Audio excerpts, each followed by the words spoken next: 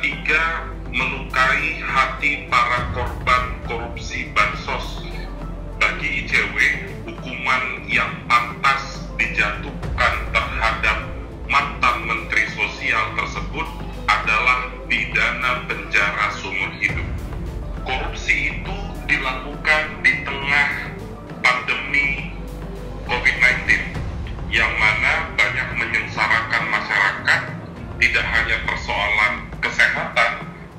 industria forestal económica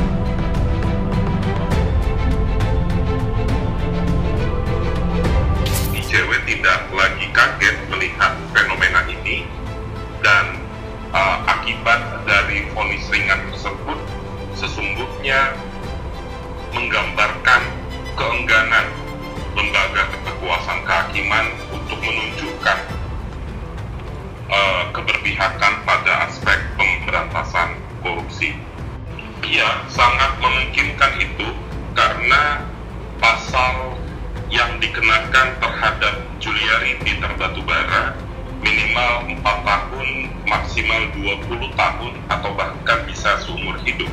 Ada rentang uh, tahun di sana yang bisa saja digunakan oleh majelis hakim. Namun kami tidak berharap seperti itu dengan problematika perkara tuntutan yang sangat ringan sudah seharusnya majelis hakim mengabaikan tuntutan KPK dan menjatuhkan vonis maksimal.